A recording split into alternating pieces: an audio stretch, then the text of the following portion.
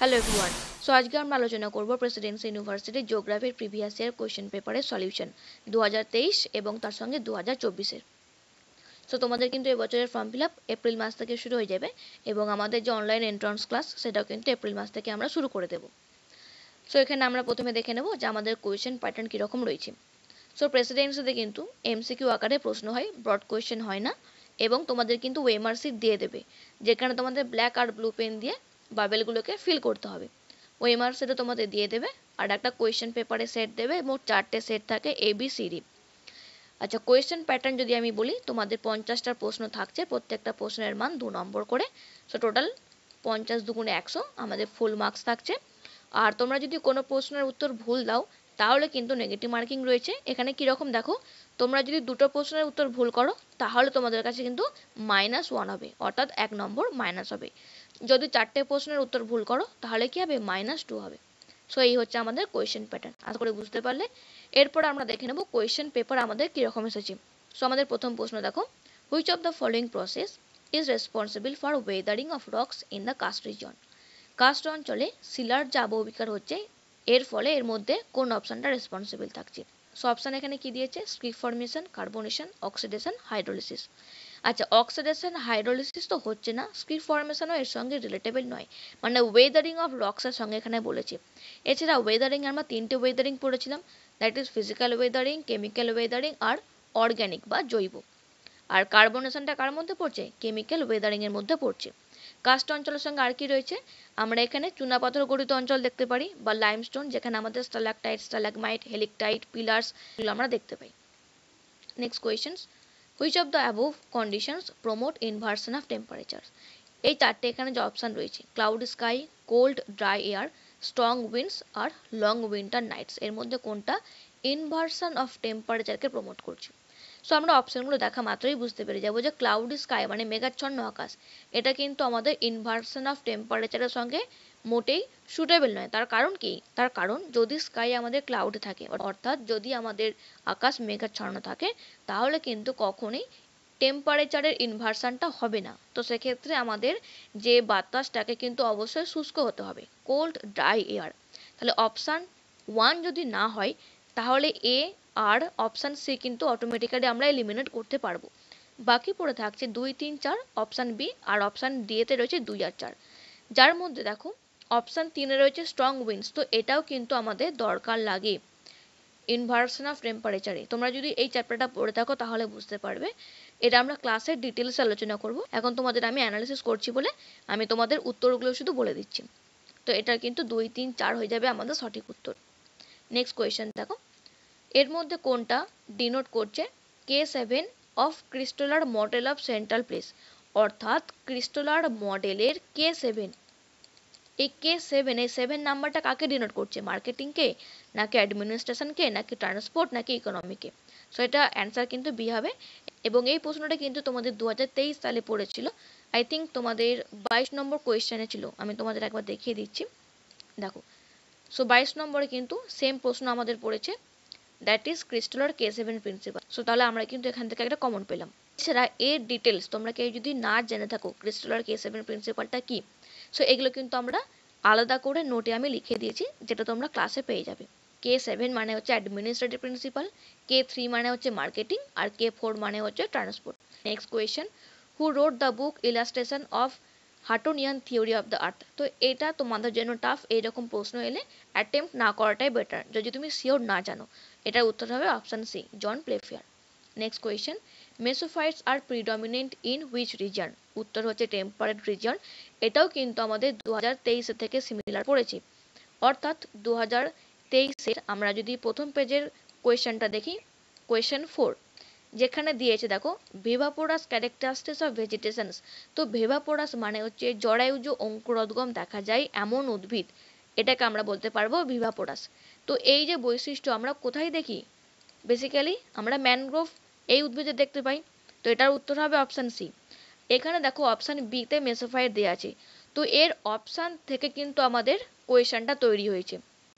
কোয়েশনে কি বলেছে? মেসোফাইট আর predominant so কোন অঞ্চলে মেসোফাইট জাতীয় উদ্ভিদেরা সবথেকে বেশি ডমিনেট করে? মানে সবথেকে বেশি প্রচুর পরিমাণে পাওয়া যাচ্ছে। সেটা হচ্ছে আমাদের টেম্পারেট রিজিয়ন তাহলে আমাদের জন্য ইম্পর্টেন্ট আর কি কি রয়েছে? হ্যালোফাইট বা লবণাম্ব উদ্ভিদ, জেরোফাইট উদ্ভিদ এবং তার সঙ্গে ট্রপিক্যাল রিজিয়ন পোলার রিজিয়ন আর সাব পোলার রিজিয়ন এই কয়েকটা আমাদের জন্য কিন্তু ইম্পর্টেন্ট এবং এটার ডিটেলসও কিন্তু আমি তোমাদের নোটসে প্রোভাইড করে রেখেছি অলরেডি সো এটা হচ্ছে আমাদের পিওয়াইকিউ অ্যানালিসিস এবং এই রকমই তোমাদের কিন্তু সেম আমি প্যাটার্নে দু হাজার চব্বিশ এটাও তৈরি করে রাখব। এটা হচ্ছে আমাদের ভিভাপোরাস মানে কি গাছে থাকা অবস্থাতেই কিন্তু বীজের অঙ্কুরোদ্গম হবে। নেক্সট কোয়েশ্চেন দেখো। সিক্স বলছে which of the following methods is suitable to represent the proportions of different land use in a region কোনো একটা অঞ্চলের ল্যান্ড ইউজকে আমরা যদি দেখাতে চাই, তাহলে আমরা কোন ডায়াগ্রামটা ইউজ করব? এটা হচ্ছে আমাদের পাই ডায়াগ্রাম নেক্সট দেখো which one of the following statistical techniques so এটা আমাদের স্ট্যাটিস্টিক্যাল জিওগ্রাফি থেকে দিয়েছে যে এর মধ্যে কোন পদ্ধতির মাধ্যমে লার্জ নাম্বার অফ ভেরিয়েবলসকে যদি আমরা সামারাইজ করতে চাই, কোনো একটা স্মলার ডাইমেনশানে সো এই পদ্ধতিটা আমরা কার মাধ্যমে করতে পারব? অ্যান্সার কি হবে? ফ্যাক্টর অ্যানালিসিস এগুলো আমরা প্রত্যেকটা কিন্তু ক্লাসের ডিটেলস আলোচনা করব অপশান সহ। প্রত্যেকটা অপশানের কিন্তু আমি তোমাদের নোটস দিয়ে দেবো। নেক্সট কোয়েশ্চেন দেখো। Which of the following region is with the high ocean salinity এর মধ্যে কোন অঞ্চলে সমুদ্রের যে লবণতা বা স্যালিনিটি সব থেকে বেশি? এটা একদম ইজি প্রশ্ন সাবটপিক্যাল বিকজ নিরক্ষীয় অঞ্চলে, মেরু অঞ্চলে বা আমাদের সাবপোলার অঞ্চলে কিন্তু ওশান স্যালিনিটি হাই হয় না। ওকে, ন নম্বর প্রশ্ন।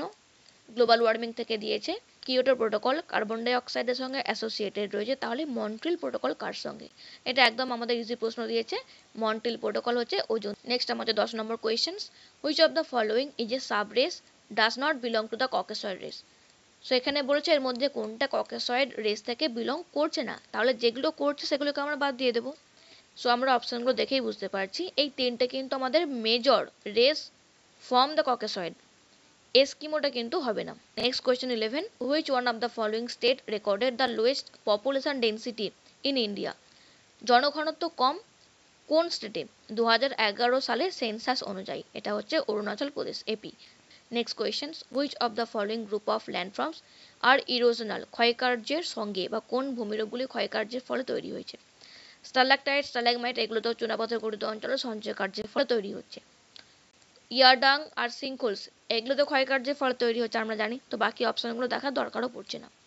Next question which of the following categories does Chile belong to according to shape so শেপের দিক থেকে চিলি এটা হচ্ছে fragmented cum elongated next question which of the following is related to great ice age এটাও একদম easy প্রশ্ন। Great ice age directly Pleistocene period যাকে আমরা কি বলি?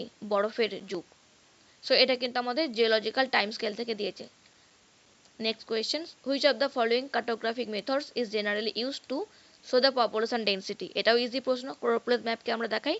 নেক্সট বলেছে, এর মধ্যে কোন মাইগ্রেশনটা সব থেকে বেশি হয় আমাদের ইন্ডিয়াতে সেটা হচ্ছে গ্রামীণ থেকে গ্রামীণ rural to rural migration chapter next আমাদের স্কেল থেকে পড়েছে কোয়েশ্চেনে কি বলেছে, আমাদের স্মল থেকে লার্জ স্কেলের দিকে আমাকে সাজাতে বলেছে। অর্থাৎ প্রথমে লিখতে হবে স্মল স্কেল তারপরে কোনটা লার্জ স্কেল তার আগে আমাকে তা জানতে হবে স্মল স্কেল কি? তো স্মল স্কেল মানে হচ্ছে যখন আমরা কোনো একটা বৃহৎ অঞ্চলকে দেখাতে পারব। আর লার্জ স্কেল মানে কি? কোনো একটা অঞ্চলকে পুঙ্খানুপুঙ্খভাবে তার সমস্ত ডিটেলস আমরা দেখাতে পারব। ওকে সো এবার দেখো। স্মল স্কেল মানে তাহলে এখানে কি বলব? যেহেতু এরিয়াটা বৃহৎ হচ্ছে। সো তাহলে এখানে স্মল স্কেল মানে হচ্ছে এরিয়া বৃহৎ। তাহলে কি হবে? ওয়ার্ল্ড ম্যাপ আর স্টেট ম্যাপ এই দুটো ম্যাপের মাধ্যমে আমরা কি করি? অনেকটা জায়গাকে দেখাতে পারি। তো এই দুটো হচ্ছে স্মল স্কেলের মধ্যে পড়ছে। এবার যেহেতু স্টেটের থেকে ওয়ার্ল্ডের আমরা যদি দেখি এক্সটেনশন সব থেকে বেশি, তো সেই জন্য ওয়ার্ল্ড ম্যাপটা আগে হচ্ছে ওয়ার্ল্ড ম্যাপটা আগে হবে, তারপরে স্টেট ম্যাপ হবে। আর দেখো ক্যাডাস্ট্রাল ম্যাপ কিন্তু আমরা বেসিক্যালি বলি মৌজা ভিত্তিক ম্যাপ অর্থাৎ আমাদের যে গ্রামাঞ্চল বা আমাদের জেলার প্রত্যেকটা খুঁটিনাটি, প্রত্যেকটা কিন্তু বিষয়বস্তুকে আমরা ক্যাডাস্ট্রাল ম্যাপের মাধ্যমে আমরা দেখতে পাই। তো সেক্ষেত্রে ক্যাডাস্ট্রাল ম্যাপ কিন্তু সব থেকে হবে লার্জার ম্যাপ অর্থাৎ তিন কিন্তু সবার শেষে হবে মানে ক্যাডাস্ট্রাল ম্যাপটা সবার শেষে হবে। আর তার আগে হয়ে যাবে টোপোগ্রাফিক্যাল ম্যাপ এগুলো আমরা ক্লাসের ডিটেলসে পড়ব। নেক্সট আমাদের বলেছে, এর মধ্যে কোন ফাইভ ইয়ার প্ল্যানে দেখা গিয়েছিল? নতুন, যে আমাদের সিটিস তৈরি এবং তার সঙ্গে মাস্টার্স যে আমাদের প্ল্যান প্রিপারেশনস এবং রিজিওনাল প্ল্যানস সো তাহলে ফাইভ ইয়ার প্ল্যানটা কিন্তু আমাদের দু হাজার পঁচিশেও ইম্পর্টেন্ট সো ফাইভ ইয়ার প্ল্যানের প্রথম আমরা যদি তিনটে প্ল্যান দেখি ফার্স্ট সেকেন্ড আর থার্ড তাহলে ফার্স্ট এফওয়াইপি কি বৈশিষ্ট্য রয়েছে এটা?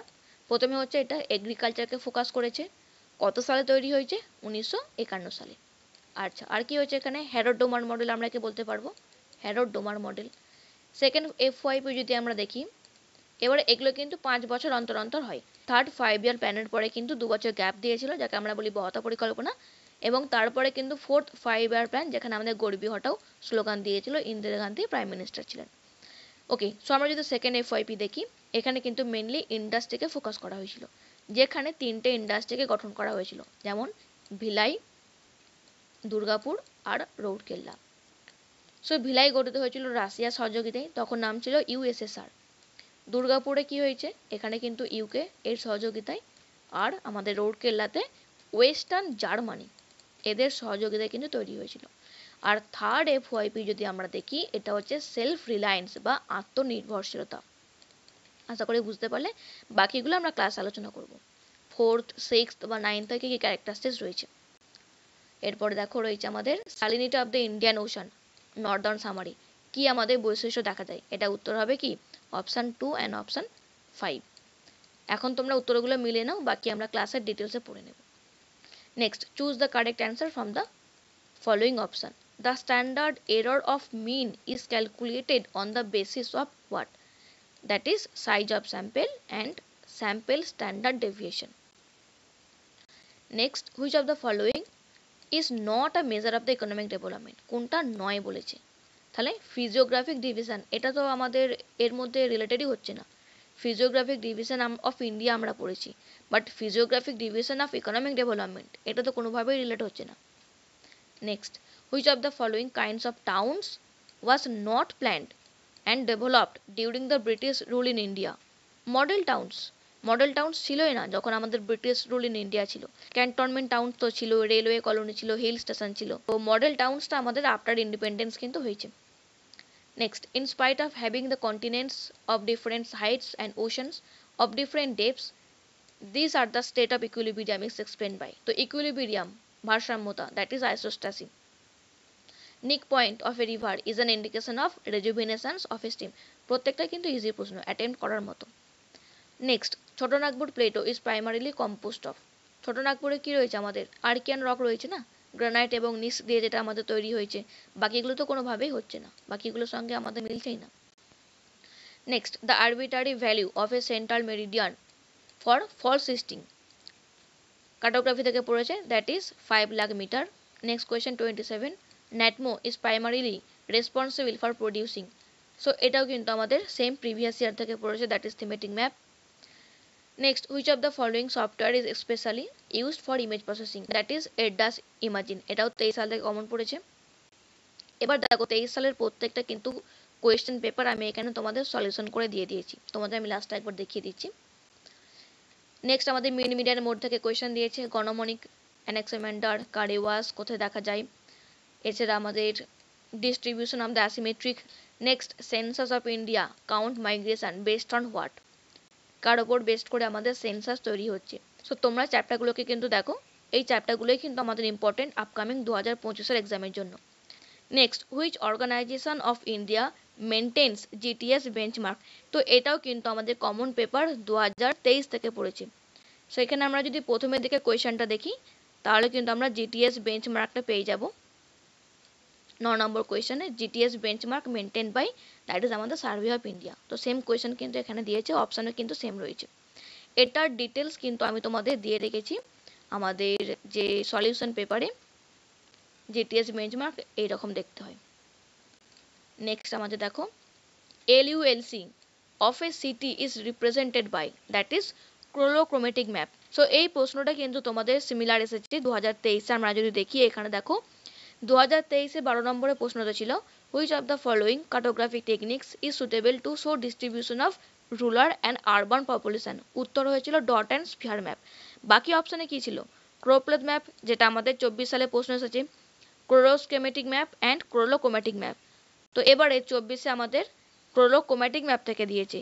তো ম্যাপটা কি? এখানে আমি লিখে রেখেছি। এবং এর সঙ্গে ছবিও আমি দিয়ে দিয়েছি। নেক্সট কোয়েশ্চেন দেখো। আরএফ থেকে দিয়েছে। If the length of a bridge shown on a map drawn on a scale of one 1 to fifty 50,000 is two semi অর্থাৎ one is to fifty thousand এটা হচ্ছে আমার আরএফ স্কেল এবং স্কেলের মান যেটা দিয়েছে দু সেমি আমাদের জানতে কি চেয়েছে?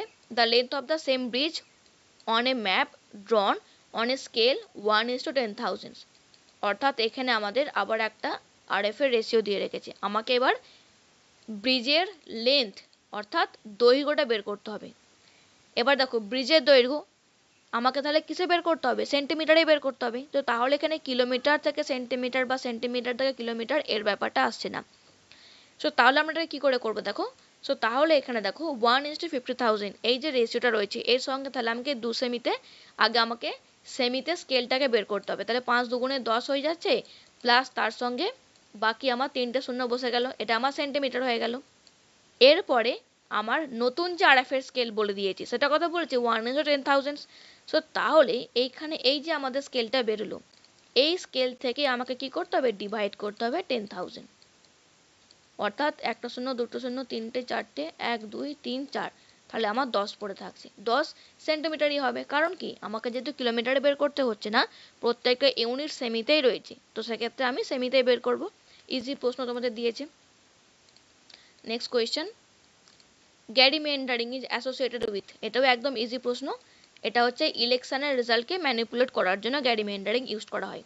Next forty five the world system theory in political geography is propounded by I Wallerstein next Gujjar R Bakarwals of Kashmir this is transhumance এগুলো একদম আমাদের ইজি এবং এই প্রত্যেকটা আমরা কিন্তু এই নোটসে কভার করে রেখেছি। Next forty seven the word Marusthali means the land of the dead এগুলোর প্রত্যেকটা আমাদের নোটসে অলরেডি কভার করা আছে।